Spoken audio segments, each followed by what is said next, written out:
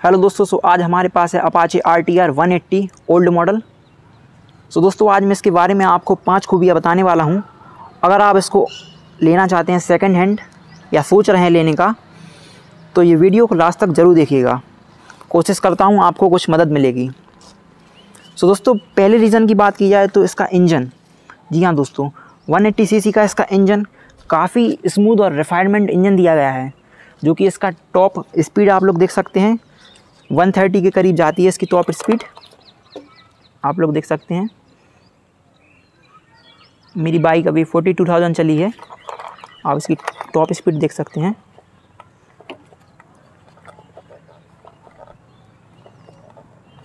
मैंने अभी 120 तक चलाई हुई है लेकिन ये 130 तक चली जाती है। इसका इंजन 180 सीसी में काफ़ी रिफाइंड इंजन दिया गया है जो कि आपको गज़ब का पिकअप देता है और साथ साथ काफ़ी अच्छी स्पीड देता है। अगर आप इसको 180 सीसी के किसी और मोटरसाइकिल से कंपेयर करें तो।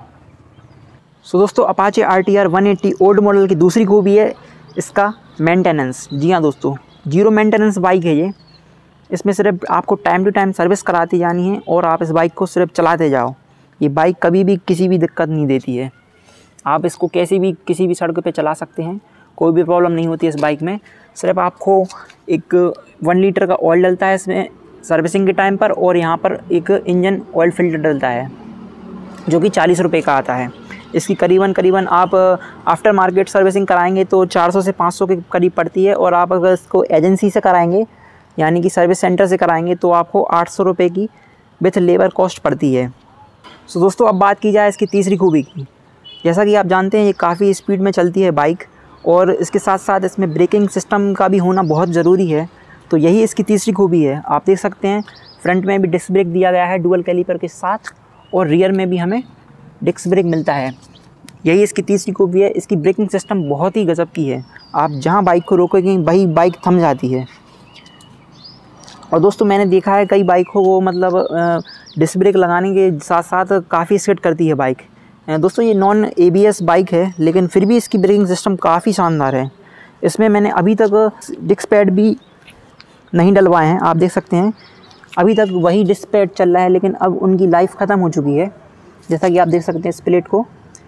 ये प्लेट अब ख़राब होने लगी है, क्योंकि इसके डिस्क पैड घुर चुके हैं। लेकिन अभी तक इसकी ब्रेकिंग सिस्टम में कोई दिक्कत नहीं आई हुई है। सो दोस्तों, अब बात की जाए Apache R T R one eighty की।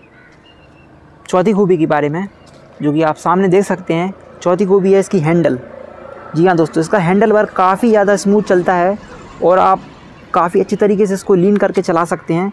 ना इसमें आपकी कमर दर्द होती है, ना इसमें आपको कटिंग करने में कोई दिक्कत होती है।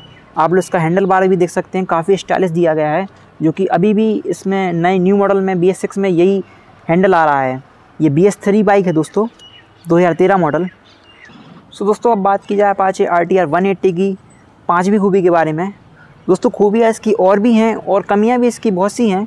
उसके ऊपर भी मैं एक वीडियो बना दूँगा।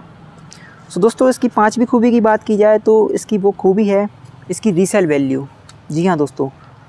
आप इसको कंपैरिजन कर सकते हैं पल्सर 180 से और ये रही आपकी अपाचे 180 इसकी रीसेल वैल्यू आपको उससे कहीं ज़्यादा मिल जाती है, क्योंकि इसकी डिमांड ज़्यादा रहती है और ये बहुत ही कम अवेलेबल हो पाती है रीसेल सेलिंग में। तो दोस्तों, इसकी, इसी कारण से रीसेल वैल्यू बढ़ जाती है। आप इसकी इसकी कमियाँ को जानने के लिए भी मैंने एक वीडियो बना रखी है, आप वो भी इसको चेक कर सकते हैं।